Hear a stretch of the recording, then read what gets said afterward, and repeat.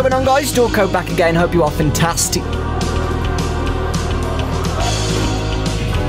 Oh, there's our boy right there. There's our boy right there.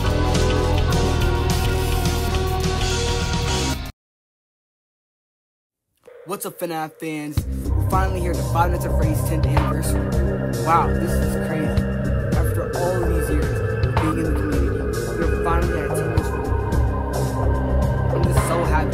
So glad I got to be here.